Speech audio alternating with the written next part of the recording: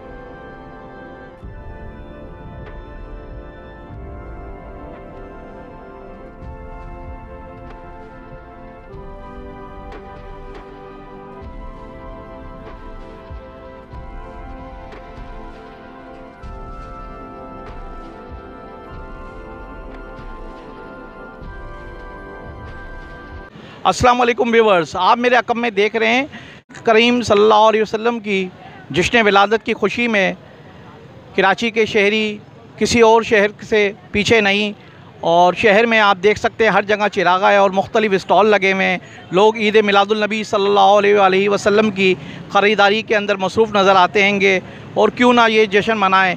क्योंकि नबी करीम वसल्लम की विलादत मनाना हमारे लिए बाई से इफ्तार है।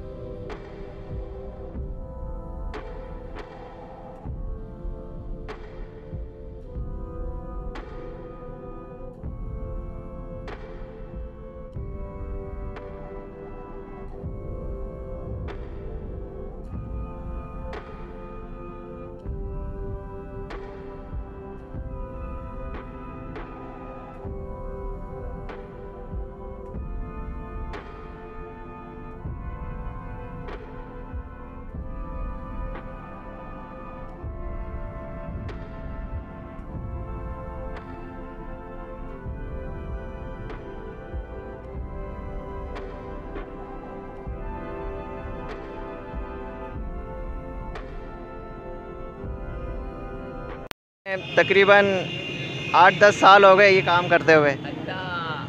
और ये अभी चौथा दिन है हमारा माशाल्लाह। बहुत अच्छा लग रहा है हमें स्टॉल लगा के। सरकार का मिलाद मना रहे हैं और लोग आके बहुत खुशी से लेते हैं सामान।